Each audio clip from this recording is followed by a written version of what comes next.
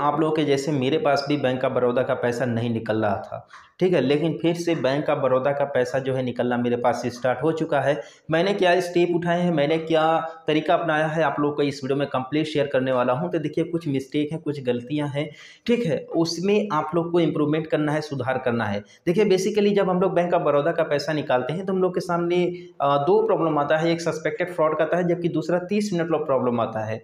ठीक है? तो ये दोनों जो प्रॉब्लम आते हैं ना, ये दोनों के दोनों सॉल्व हो जाएँगे, ठीक है? लेकिन कुछ स्टेप है जिसे अगर आप लोग फॉलो करते हो तो आप लोग का जो बायोमेट्रिक डिवाइस है, जो भी आपका सीएसपी है, वो कभी ब्लॉक नहीं होगा और बैंक ऑफ़ बड़ौदा का पैसा नहीं निकलेगा, ठीक है? यहाँ पर देखिए, अगर आपके पास कस्टमर बेस बहुत ज़्यादा है, बहुत ज़्यादा अगर बैंक ऑफ़ बड़ौदा के कस्टमर बेस आपके पास हैं, दिन भर में दस बीस कस्टमर आते हैं तो आप लोग बैंक ऑफ़ बड़ौदा के लिए आगे सोच सकते हो। देखिए, क्योंकि हम लोगों ने जितने भी बायोमेट्रिक डिवाइस खरीदे थे, जितने भी हम लोगों ने सीएसपी खरीदे थे, सारे आ, समय समय पर ब्लॉक होते जा रहे हैं। कुछ समय तक पैसा निकल रहा है ठीक है लेकिन इसके बाद पैसा नहीं निकल रहा है।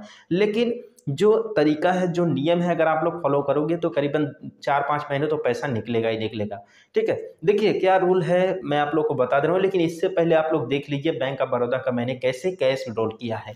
तो देखिए सबसे पहले यहाँ पर डेट और टाइम मैं आप लोग को दिखा दे रहा हूँ पैसा निकालने से पहले। तो गूगल पर आप टाइम देख लीजिए नौ बज के पैंतीस मिनट हो रहा है तेईस जनवरी दो हज़ार तेईस। और लैपटॉप में भी टाइम आप देख लीजिए क्या हो रहा है। ठीक है, इसके बाद चलिए मैं स्पाइस मनी में लॉगिन करता हूँ और यहाँ पर मैं लॉगिन कर चुका हूँ। ये देखिए मैं दूसरे आईडी से पैसा निकाल रहा हूँ और मेरे पास जो डिवाइस है बायोमेट्रिक उसे भी मैंने नया परचेज़ किया है। ठीक है, और फिर से यहाँ पर मैं कट कर कर दे रहा हूँ। और यहाँ से सारा डिटेल फिल करने के बाद आप लोग यहाँ पर देख पाएँगे कि बैंक ऑफ़ बड़ौदा है।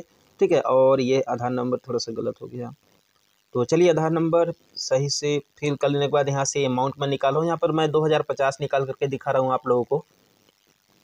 तो आप लोग आप लोग भी यहाँ से पैसा निकाल सकते हो। और सही है, देखिए तरीका अगर अपनाओगे, सही तरीका, ठीक है तो दिक्कत नहीं होगा। लेकिन अगर आप लोग गलत करते हो तो आपके वजह से दूसरे को भी प्रॉब्लम होता है।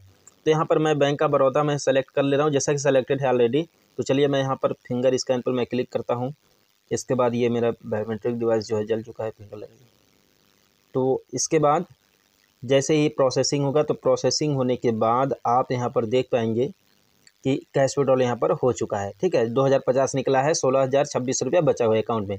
फिर से टाइम मैं आप लोग रिफ्रेश करके यहाँ पर दिखा दे रहा हूँ, ठीक है?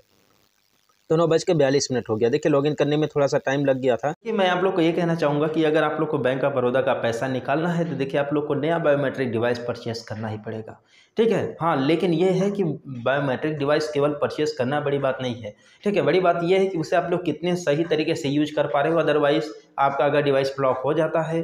ठीक है? तो आप लोग का पैसा भी बर्बाद यहाँ पर हो जाएगा। तो इस तरीके से मैं बिल्कुल भी आप लोग को रिकमेंड नहीं करूँगा कि आप लोग नया डिवाइस परचेस करो या फिर आप लोग अपने बिहार पर आप लोग कर सकते हो, ठीक है? लेकिन बात करूँ मैं अपना तो मेरे पास देखिए बैंक ऑफ़ बड़ौदा के कस्टमर बेस हैं, ठीक है? इसलिए मुझे मजबूरी में एक नया डिवाइस परचेस करना पड़ा। देखिए, अभी तक मेरे पास केवल एक ही डिवाइस ब्लॉक हुआ है, जो कि करीबन तीन से चार महीना चला, ठीक है? लेकिन वो डिवाइस एट द एंड बंद हो गया, ठीक है? मेरे ही गलती से मैंने दूसरे बैंक का भी उससे कैश विड्रॉल करना शुरू कर दिया था, ठीक है? लेकिन अभी मैंने जो परचेस किया है डिवाइस इससे मैं केवल बैंक ऑफ़ बड़ौदा का ही काम करूँगा। इसमें मैं कोई भी मिस्टेक नहीं करूँगा, ठीक है? आप लोग को भी कोई भी मिस्टेक नहीं करना है, अगर आप लोग नया डिवाइस परचेस करना चाहते हो, जैसे दूसरे बैंक का पैसा निकालना, ठीक है? सौ, दो सौ, पाँच सौ, ऐसे पैसा, पाँच सौ से कम पैसा निकालना ही नहीं है बिल्कुल, ठीक है? और तीसरी बात कि आप लोग दस बीस नहीं निकालना है, हमेशा निकालना है तो फिफ्टी एंड या फिर हंड्रेड का मल्टीपल में पैसे निकालना है, ठीक है? जैसे दो हज़ार पचास, तीन हज़ार पचास ऐसे पैसा निकाल सकते हो, लेकिन तीन हज़ार दस, बीस, तीस ऐसे नहीं निकालना है और ना तो पाँच सौ पाँच सौ से कम निकालना है, क्योंकि पाँच सौ से कम निकालोगे तो बैंक के ऊपर ये फ़र्क पड़ता है, इफ़ेक्ट पड़ता है, जिसकी वजह से फिर आपको ये प्रॉब्लम होने लगेगा। तो इस वीडियो में यहीं तक, मिलते हैं फिर किसी नेक्स्ट वीडियो में एक नए अपडेट के साथ, तब तक के लिए बाय बाय।